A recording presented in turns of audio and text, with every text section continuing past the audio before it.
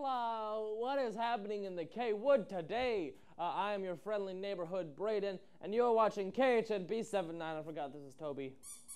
He's uh, joining us permanently now.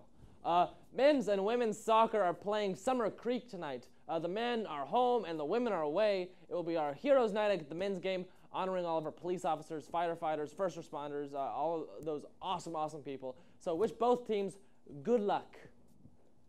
Hey, if you don't want to go to the soccer game, that's cool. Uh, we have our Humble Civic Center. I uh, sorry, Humble I. Oh my goodness, Humble ISD Expo is tonight, 4:30 to 7:30 at the Humble Civic Civic Center Ballroom. Ooh, that was a bit of a struggle, but we, we, we made it.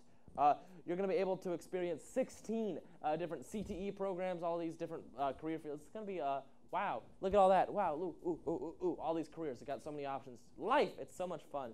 Uh, don't forget, class rings on sale Friday. So if you want to, um, all the single ladies, put your hands up. Oh, oh, oh, uh, all that fun stuff. Uh, it's gonna be soon, so buy them or not. It's up to you.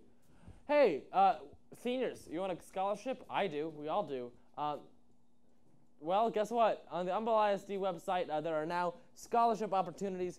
Just head to the KHS website. It's at the very top of the page. It's you know under current events. So go to current events, top of the page. Whoa. The pre-ACT will be on uh, Wednesday, April 13th, 2019. Registration opens today. It is going to be open to all Humble ISD students, grades 8 through 10, so don't miss out. AP exam registration closes on the 15th. If you're going to take any of these tests, please do not forget to register before the time runs out. All right, that's us for uh, it for today. Go enjoy the rest of your day. Uh, you know, have fun, bake cakes, love love your life. It's gonna be good. Uh, all right, bye bye. See you later. Get out of here.